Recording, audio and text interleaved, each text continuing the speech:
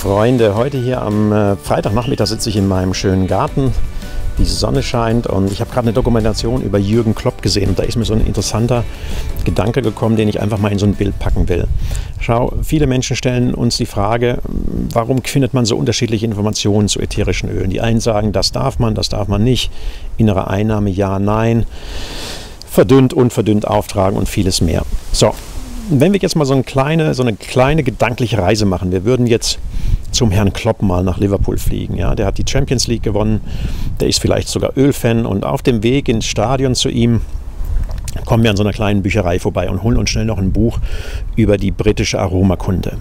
So, und jetzt haben wir ein cooles Gespräch mit dem Herrn Klopp. Wir lassen ihm ein Öl da. Der ist total begeistert von der Zitrone, weil es seine Stimmung nochmal einen Ticken nach oben bringt. Und aufgrund dessen sagt er uns, wisst ihr was, ich habe das so cool empfunden mit euch. Ich habe hier eine Empfehlung. Der Herr Tuchel ist Trainer bei Paris Saint-Germain in Paris. Besucht den doch auch mal, erzähle ihm mal ein bisschen was über die Öle.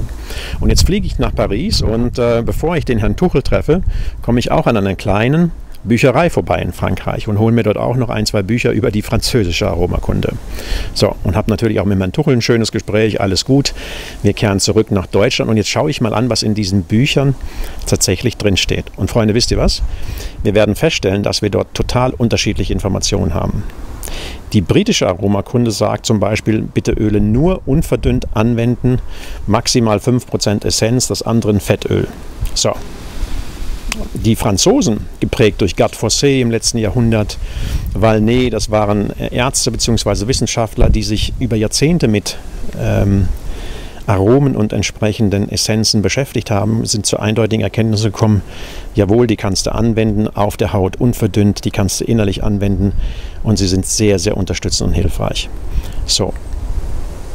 Wenn du diese Hintergründe nicht kennst, wo welche Erfahrungen herkommen, beziehungsweise wie sie geprägt sind, hast du kaum eine Chance zu verstehen, wenn du irgendwas im Internet liest, beziehungsweise wenn dir Menschen irgendeine Frage stellen oder vielleicht sogar Aussagen um die Ohren hauen. Das nenne ich immer das Wissen hinter dem Wissen, das du haben solltest, damit du für dich sicher wirst und vor allen Dingen auch gute Informationen an andere Menschen weitergeben kannst.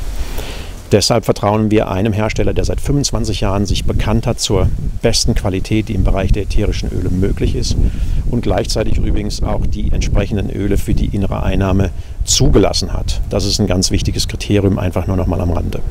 So, wenn dir das gefallen hat, wenn dir das genützt hat, dann sei so gut und gib uns hier den Daumen bei YouTube, teile das Video, abonniere den Kanal und wir sehen uns in Kürze schon wieder, wenn es wieder heißt Up Your Life. Macht's gut und schönes Wochenende.